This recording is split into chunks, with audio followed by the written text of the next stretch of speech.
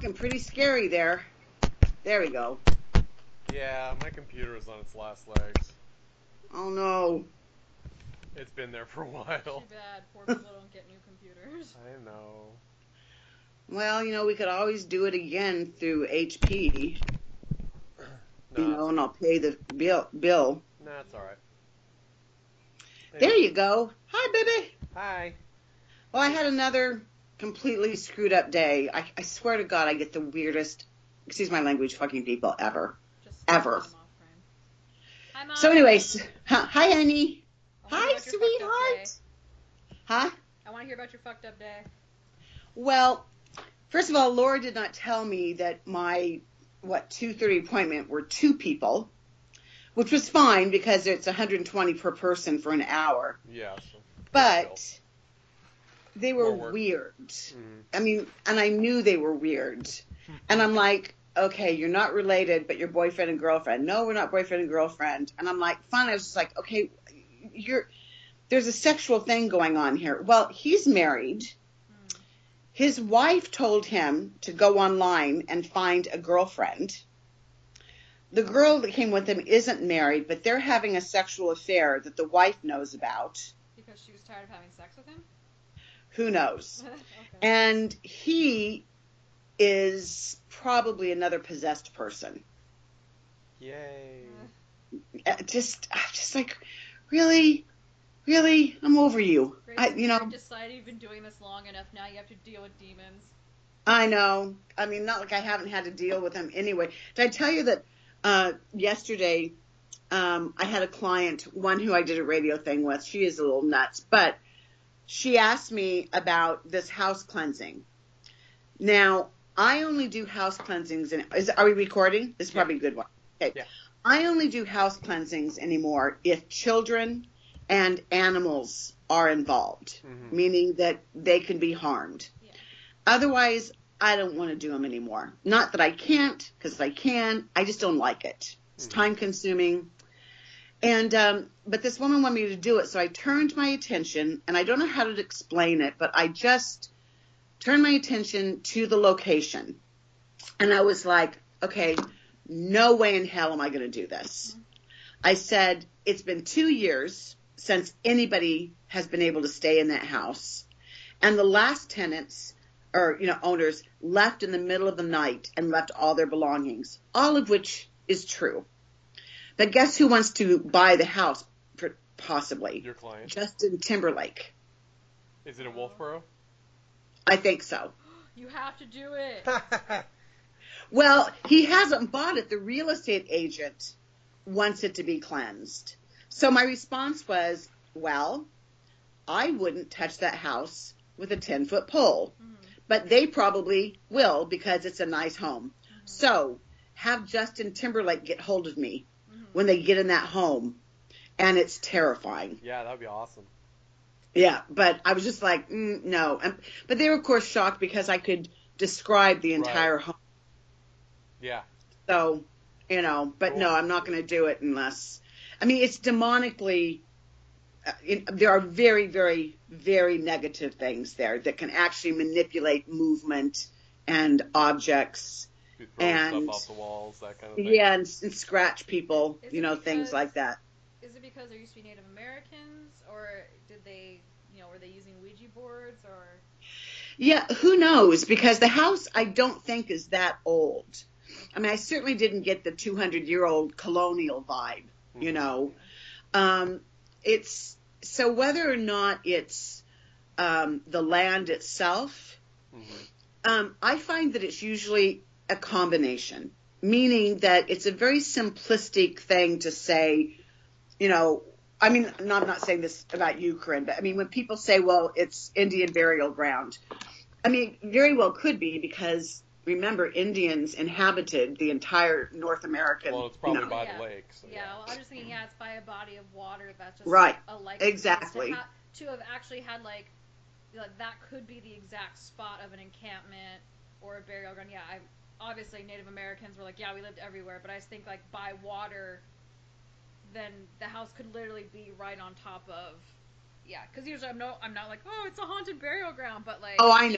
The- But I the- think there is something. I mean, Indians were in World Fair. I don't know that it would be burial. They usually didn't bury. Every tribe's different, but they usually didn't bury their people near water because being near water was too vital, and you Yeah. and you don't stay where, you know, where your dead are. However, it you know it doesn't have to be an Indian burial ground. It could just be places where Indians were Mhm. and where they were driven from, and they can in fact leave curses and you know uh, rituals that, Mhm. if you can imagine, you're not necessarily kindly inclined toward the people who drive you from your ancestral homes. Right. So it's kind of like the version of the Viking slash and burn, you Mhm. know.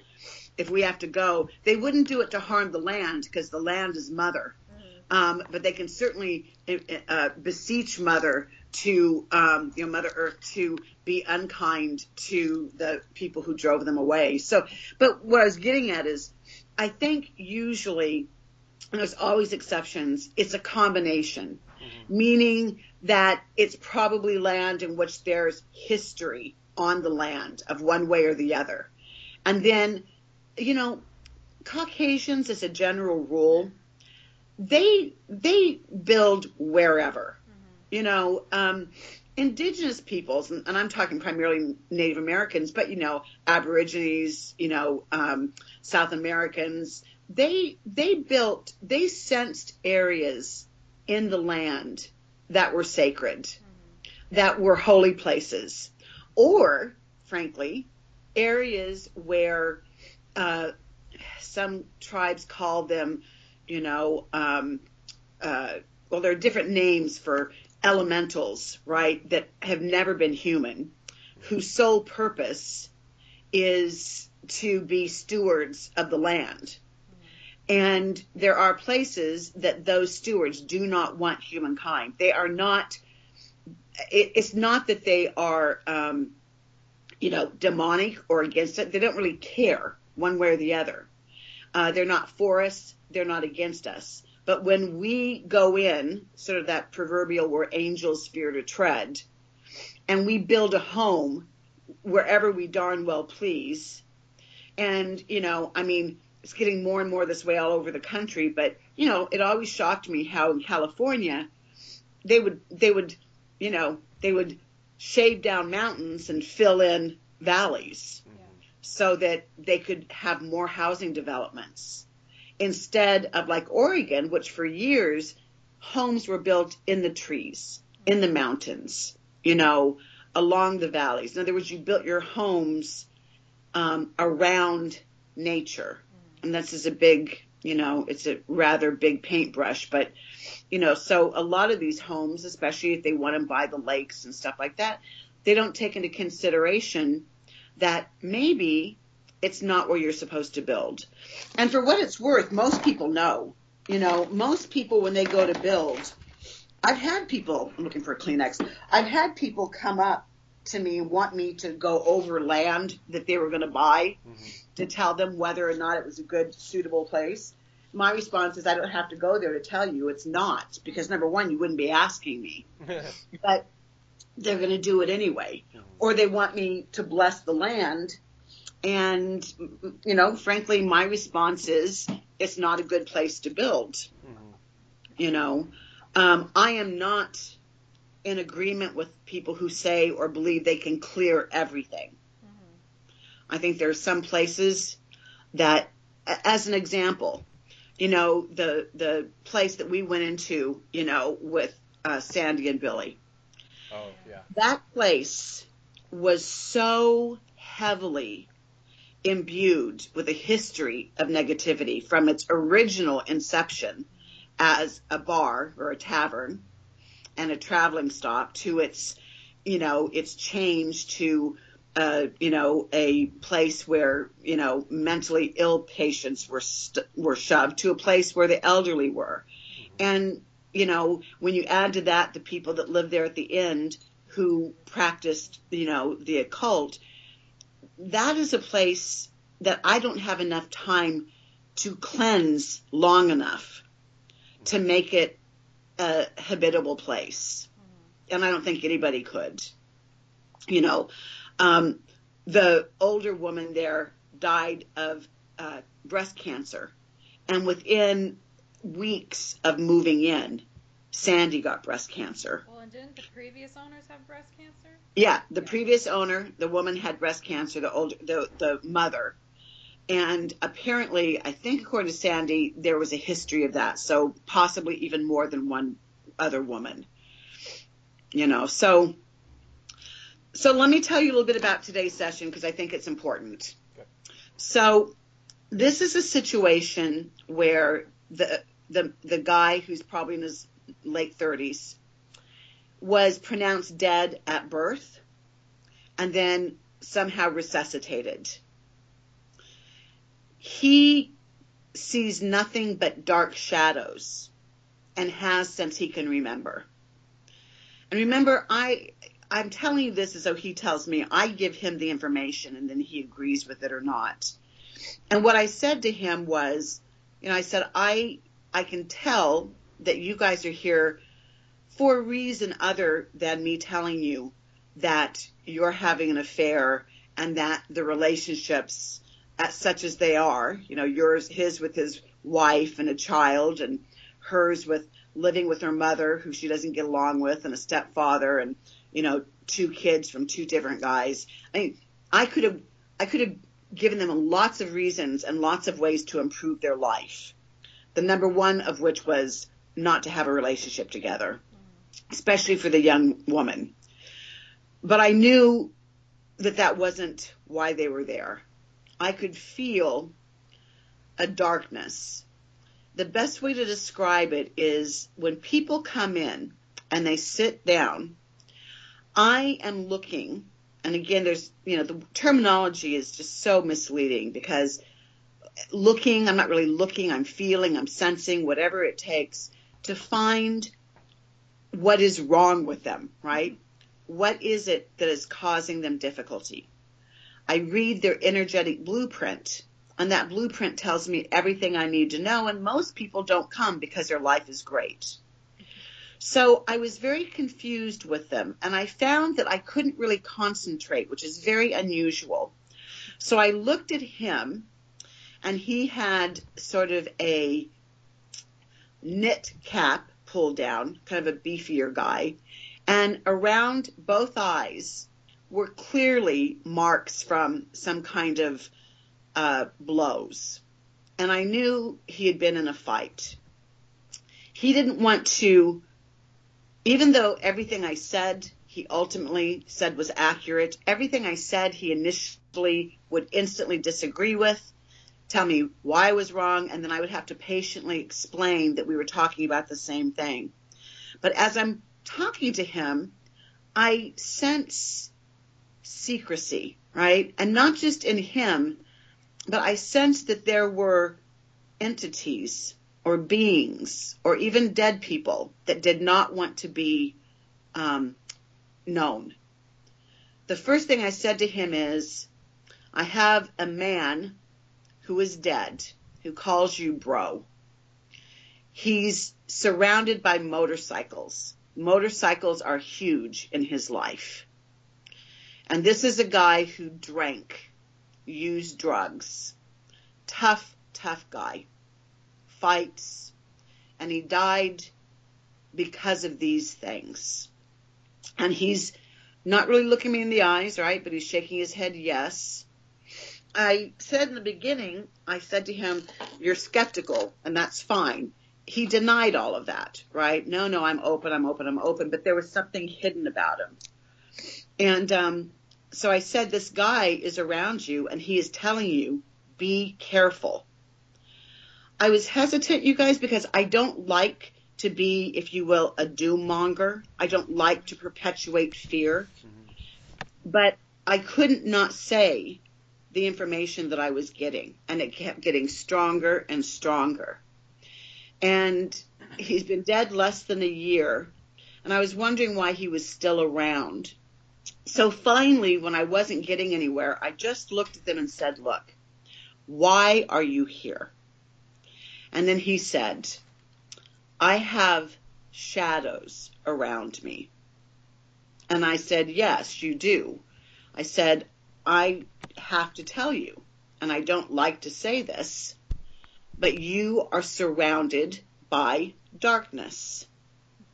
You are surrounded by darkness. And you have allowed this darkness to be there. That's when he told me, and I said to him, You have nearly died many times. I said, You have used drugs, you drank, you may have gone through a period where you're not drinking as much, but now you're drinking more. And he's agreeing with all these things. And I said, you know, and he's, then he said, I see the shadows. And I said, well, there's something more than just the shadows. And then he explained that he saw this blacker than black shape, kind of amorphous shape and that when that shape would show up, sort of darker than the dark room, all the other shadows would essentially leave. It would like they would be sucked out of the room, you know, kind of disappear, almost like a vacuum cleaner sucked them out of the room. And he said, so the, the interesting thing and the thing to keep in mind is the whole time that I'm telling him things, that's frustrating because he's disagreeing, he's disagreeing you know, I'm saying this is negative, but he's telling me, well, I'm fine with it. I'm not afraid.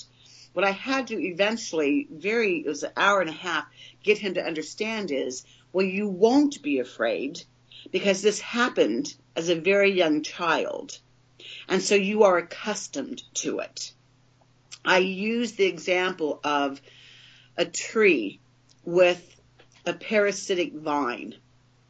There are some vines that when they wrap around trees, kill the tree. But there are some vines, huh? Oh, but there are some vines that actually are benefited by the tree and the tree is benefited by the vine. It's symbiotic. And that's what happened with him and these dark entities. And, but he kept denying that they were negative. But then he would say things like, when I try to ignore the blacker than black energy, it gets angry. And I said, well, how, if it's not negative, how does it present itself when it's angry? So at first he described it like a kid, right? That's saying, look at me, look at me. But really, as he went on, he was describing it more and more as an intense negativity that would not leave him alone. So he learned to acknowledge it. And whenever he would acknowledge its presence, that uncomfortableness that he refused to describe as uncomfortableness, but the uncomfortableness would go away. So this is an hour and a half of talking about this and, and slowly getting him to acknowledge things. Like I said at one point, I see yellow, and red eyes.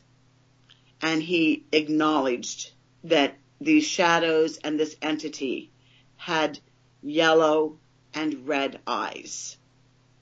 These are not positive things. And what was happening is the reason it was so uncomfortable and difficult is that he he wasn't possessed because possession was not beneficial to this entity. He was what I called, and remember we talked the last time, he was overshadowed, mm-hmm. which is one step away.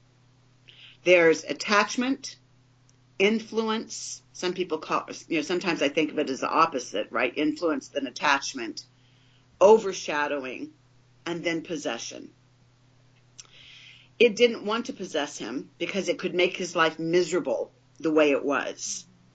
And it made him feel like he had to have it there. Mm-hmm.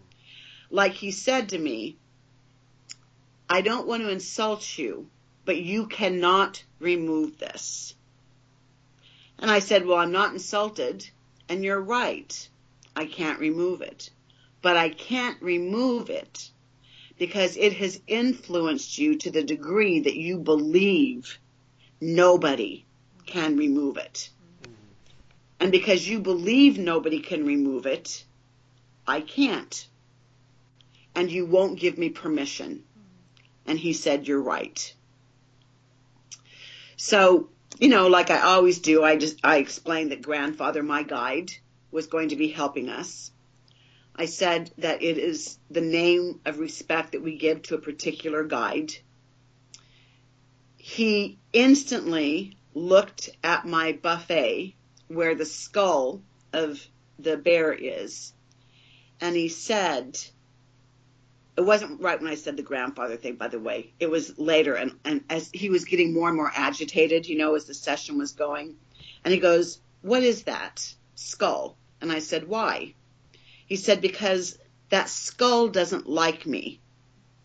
And he says, I'm not comfortable sitting here. Well, he was sitting in my chair mm-hmm. against the bear hide. Mm-hmm. And he said, That skull has something to do with not wanting me here. That's when I said to him, it's not the skull not wanting you. It's you being, I said, it's the entities within you and around you that don't like the sacredness of grandfather. So she then says to me, well, is that why, ugh, I'm actually getting chills. She said to me, is that why I have a dark shadow following me? I said, when did it start? Well, of course it started when they got together. Mm. Well, demons, negative entities do not want somebody like him to have loving relationships. They don't want him to be happy he would only share with me that because I said to him, I don't feel like there's anybody around you that you absolutely love. And he says, I said, so I'm not sure anymore if you can actually feel love. And he says, I can, but it's taken away from me. And then I pushed and said, what do you mean taken away? And he goes, they die. So creepy. So she's sitting over there, so I pointedly look at her. Because what I said to her in the beginning is, do you have to have this relationship? I said, you're both here together. I have to be honest. What are you doing in this relationship? He's married. He has no intention of leaving his wife.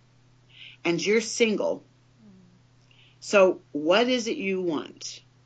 Because this is not positive for you. So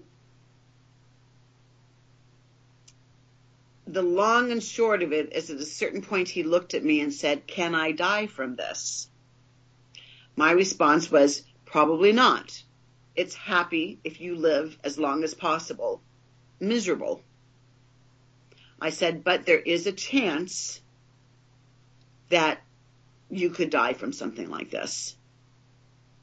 I said, But usually what happens is it doesn't kill you outright. It influences your behavior in reckless ways. I said, for instance, your eyes. I said, that's due to a fight. He never wanted to even tell me what the fight was about, but he acknowledged it was a fight. And I said, you get in fights because you're angry and rage builds up in you. And when the rage builds up in you, you do reckless things.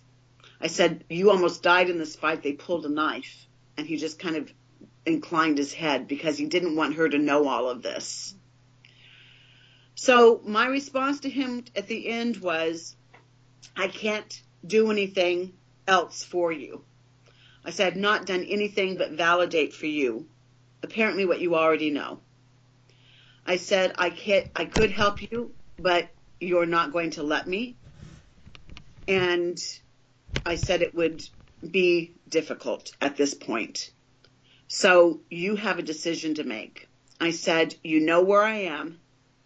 You know how to get hold of me.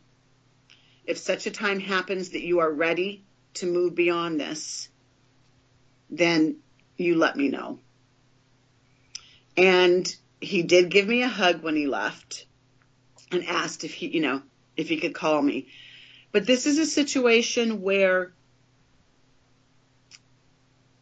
I can't, this is one of those situations in the book where I would talk about not being able to fix everything. Mm-hmm. Well, that people, Well, yeah, and and but people have to be willing to do the work.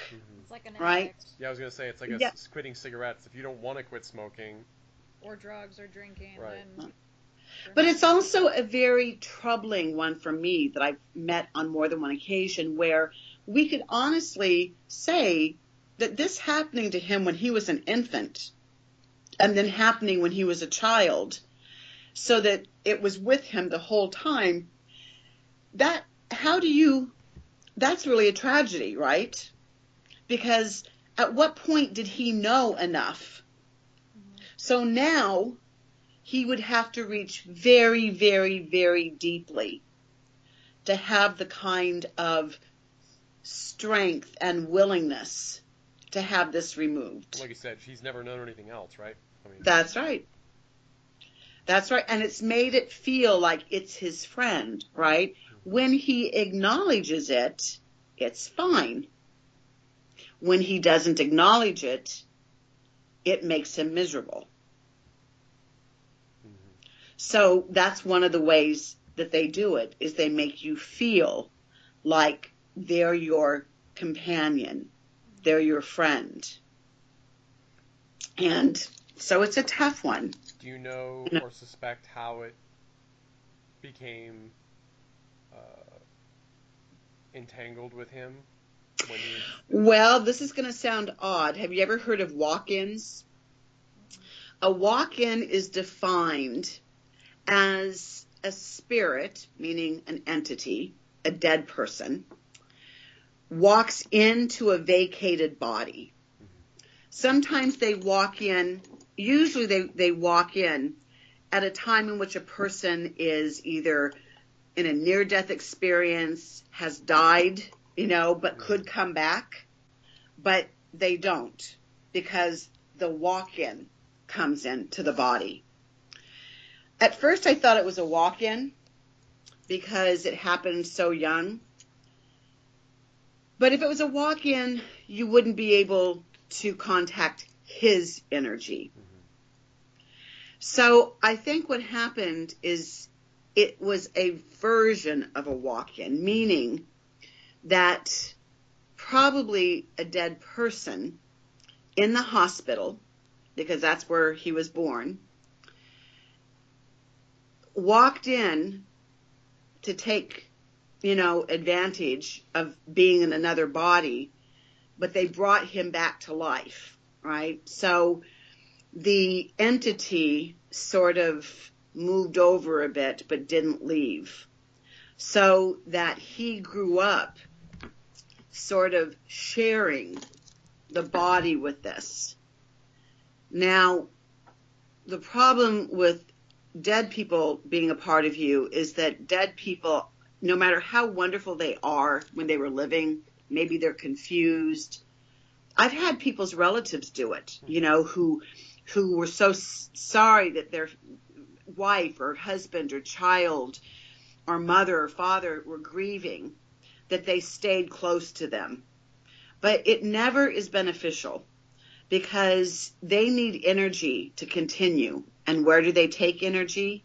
From the person that they're attached to.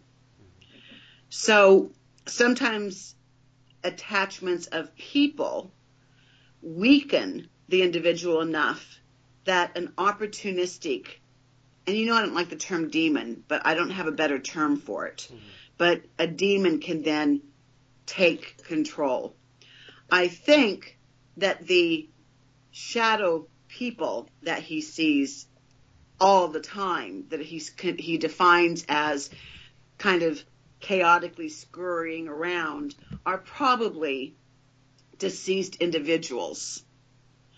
But I believe without doubt that that black shape is demonic, which is why when it shows up, the others leave. What, do you sense the other walk-in that you think triggered? Is that what you're saying, or do you think Um, that was a? Yeah, I, I don't know because that walk in was, it, it's not a true walk in because a true walk in, number one, takes over and it's usually very difficult to dislodge. But I think you know, when he left his body, that gave other entities an opportunity to step in.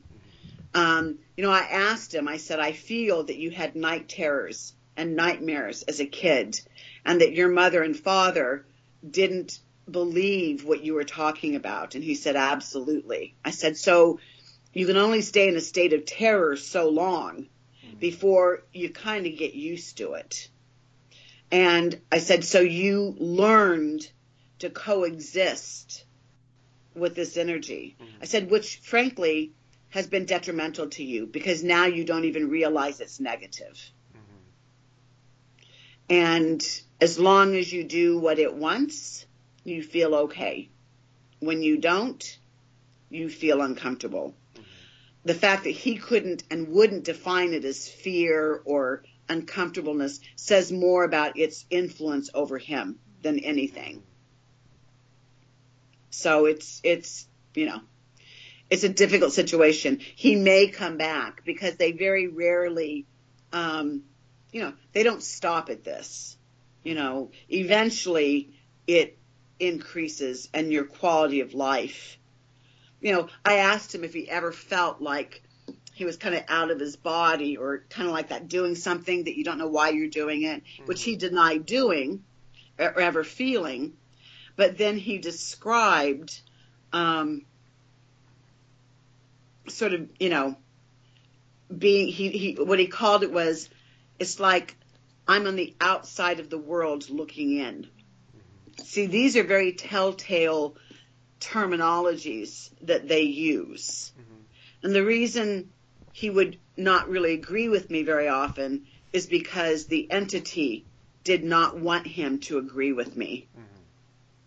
So I don't know what the hell spirit is doing, sending me freaky er people to normal.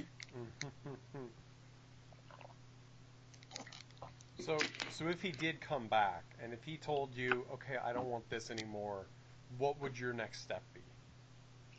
Well, in his case, my next step would be either getting uh, Lisa or Randy or both, because it's not because basically it's a releasement, or in Christian terms, you know, it's a it's a um, depossession or an exorcism, and you know it's never wise to do you know depossession by yourself, especially you know even women when they're going through an exorcism can become, you know, can have superhuman strength. Um, I would do it because that's my role. Um, and, you know, I would do the ritual of cleansing. I would call in the four corners with my sage blend. I would call in Grandfather, the Great Spirit, and I'd call in Mother Earth and I would use my song, which is uh, Amazing Grace in Cherokee, and I would basically command it to leave the body. I don't do it in the name of God or the name of Christ. Um, what I do is I first explain to the entity that it cannot stay that it has to go to its next place of evolution. You know, you realize I don't believe in hell, and I don't believe that uh, satanic, negative, I don't believe in satanic, but demonic, I don't believe those energies are always going to be negative. I actually believe every entity can be redeemed. And at some point, they will all be redeemed, um, to use a Christian term that I don't like. Um, but, you know, Purified. it's, huh? Purified. purified. And um, so I always try to basically, I, I try honey rather than a stick at first. Because if I can help the entity, I help more than just my client, right? Mm-hmm. Because I might be able to remove that entity from the client, but now it's just loose to attach to somebody who may not have an opportunity mm-hmm. to see somebody like me. Mm-hmm. But ultimately, if it will not leave, then I call upon the beings of light and love whose job it is to remove lost souls or spirits to the next place. Um, it something like this with him would take multiple sessions, multiple sessions, and uh, I, I don't know that because of my location and because of the people that I would need to help me. I don't know. God, I look bald. You don't look Don't bald. look bald. My hairline looks like it's back to the middle of my. I can't look at these anymore. Anyway, um, anyway, um, so I hope I don't want to be unkind. I hope he doesn't come back because I will do what's necessary, but it's tiring Well, it's and not it's going to be pleasant for you. I mean, it's not. You have no control over whether he comes back or not. So it's there's nothing Yeah. wrong with saying that it's easier Yeah. if he didn't. Well, it's it just will be very dangerous. Anytime you do these things, it's dangerous. Would you put it in a jar or an object if you were able to remove the entity? Well, it depends on the ritual I use. I mean, sometimes, you know, I have them lie on the bear skin and I journey. And in my journey, I go to where the dark entity is. It's within. Oh, great. I heard something earlier. I've got new above my office inhabitants who are singing really, really bad. we thought it was. We thought there was some I- negative yeah. energy, and and you're like, oh great, and then you're like, ah, I was singing neighbor. anyway. the funny thing is. I would rather have negative entities. you know, I can deal with them. Anyway, um, and then when I journey, I call upon my guide and whatever, you know, other guides are there to help me. And then I do the extraction, usually by sucking out the negative energy and putting it in a mason jar where I then, based on grandfather's advice, I, you know, dispose of it in some way. Um, but this entity is no respecter of Native American ways. I would never be able to get him to agree to that kind of ritual. And it is very likely that when the entity feels cornered, that it will be sort of like your traditional exorcism where they're yelling and writhing and struggling to get away.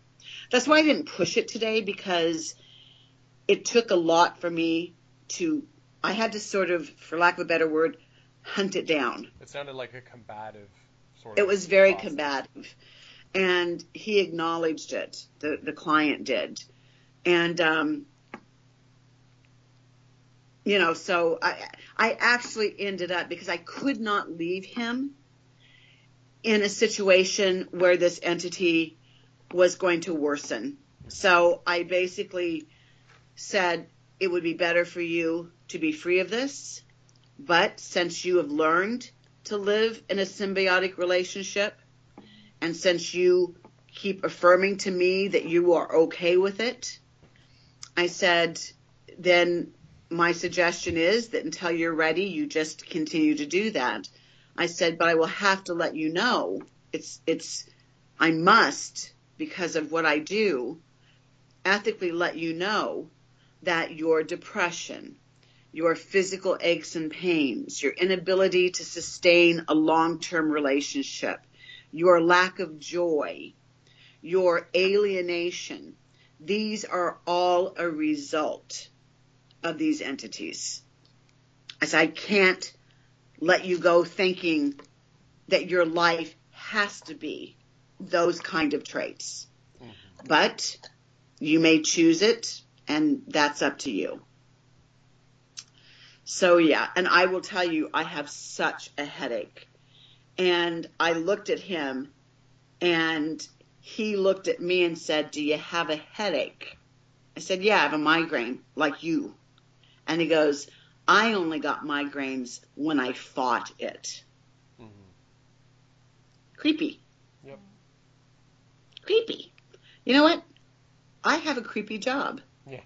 Yeah. Yes. Yes. I mean, there are times when I think, who the hell has the kind of day at work that I have? I, People who work in retail.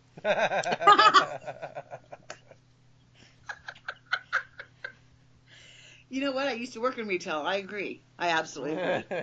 The only thing is, is unless you've had a retail person spewing spit and snot and almost vomiting, No. it's not quite that bad. So anyway, so that is my day. okay. That was good though. That was good information. Yeah.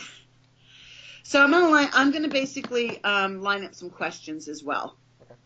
And, and I don't know when this weekend, but I'm gonna try and do um, Dragon Speak. Okay. And if you want to do another session on Sunday or Monday. Okay. know.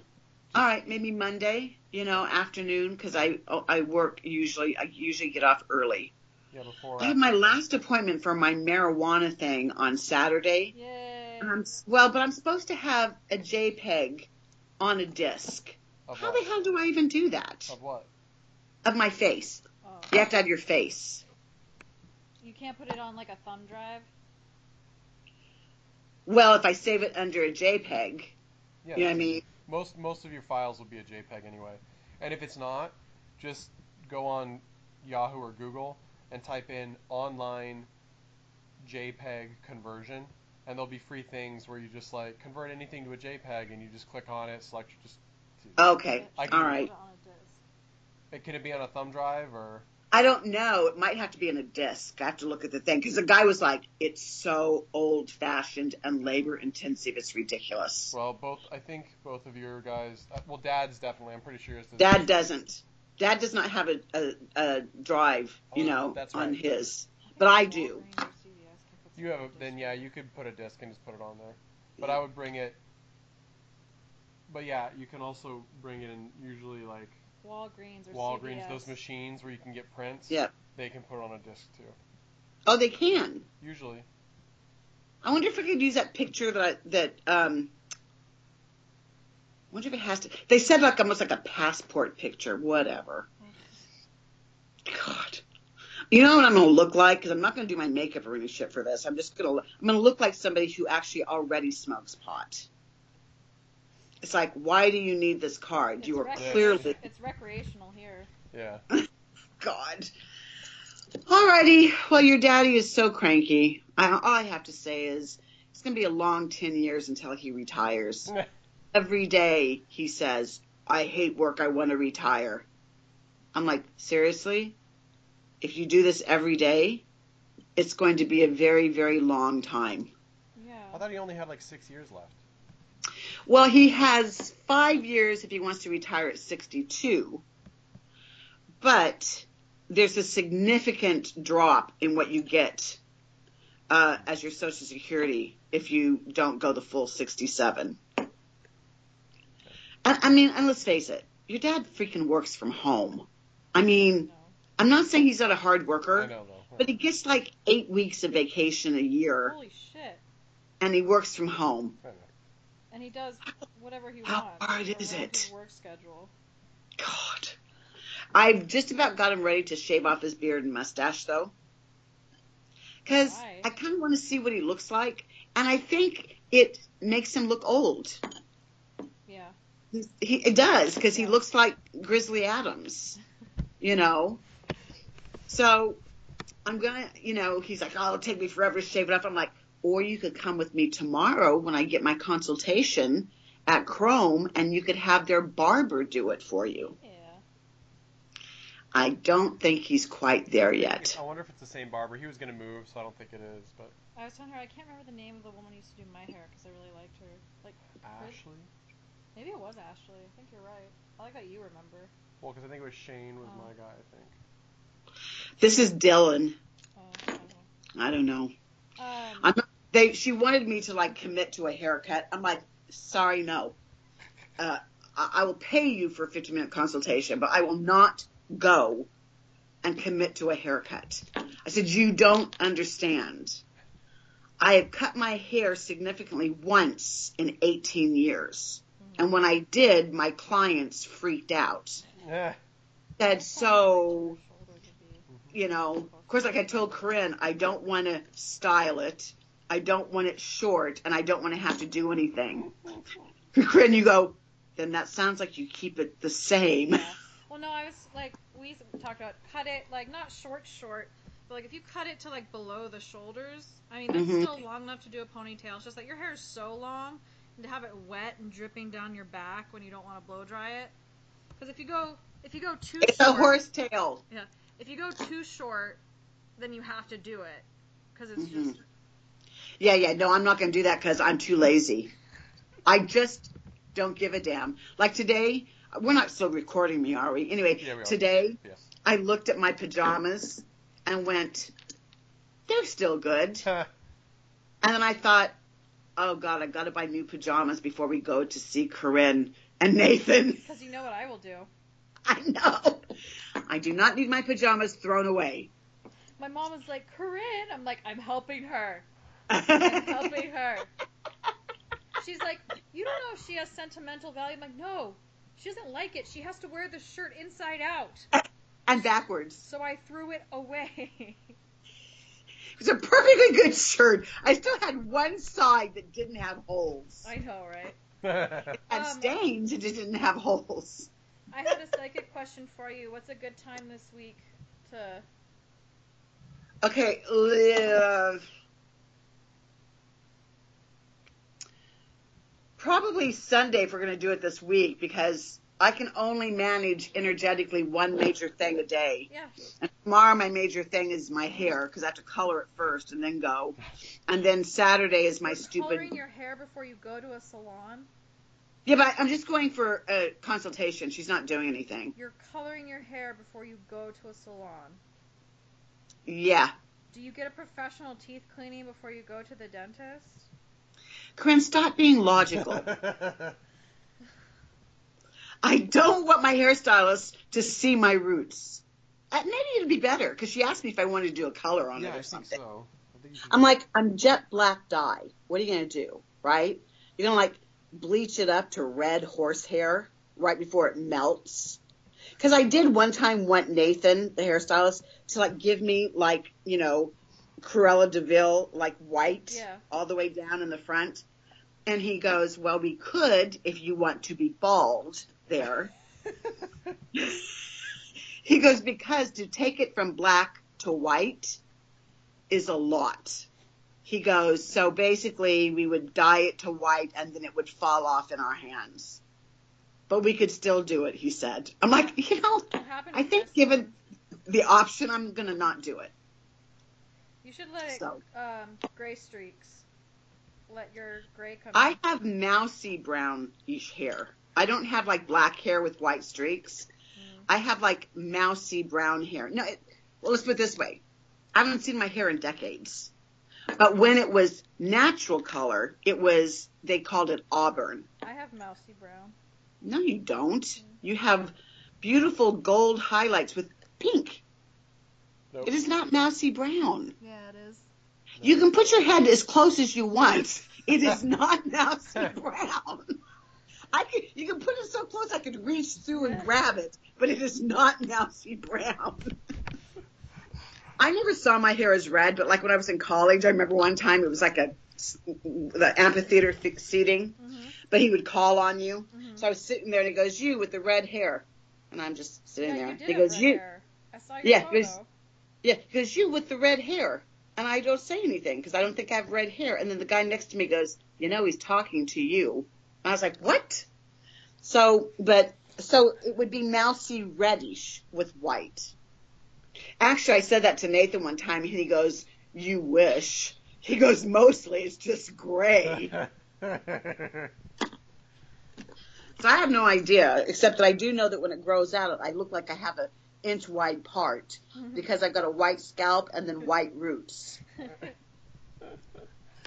So I love my kids. I love you guys too. All right, well I'm gonna head out. Okay. Be safe. I will. You two, what are you guys gonna do? Do you work tonight, Corinne? Probably not, because Guy cancels on me all the time. But Well, do something fun. Mm, I'm going to an open mic, so Corinne will go with me if she doesn't have to work. yeah. Ooh, awesome. Do you have new material, or are you just honing the new the same material? A little bit of new, but nothing I haven't done at an open mic yet. Okay, So awesome. yeah, but we haven't been to this one before, so Okay. Well, be safe. I have visions of like seedy bars It's somewhere. sta- this is a steakhouse. Oh, good, cool. All right. Well, I love you guys. Love you. No matter what you think, Corinne, be safe, you well, guys. When you say Nathan, you're worried about Nathan going to seedy bars. I'm like, you think someone's gonna rape Nathan? He's six foot one. they might stab him. okay. You know, yeah. you can't do the kind of work I do without being paranoid 24 7. All right. I love you guys. Love you guys. Mwah. Mwah. All right. Thanks, we'll Mom. figure out a time to do it again on Sunday, Nathan. Maybe I'll have my uh, Dragon Speak worked out. Okay, sounds good. All right. Love you, Love you. Corinne. You. Mwah. Mwah. Bye. Bye bye. Bye. You have to hang up. I don't know how. Okay.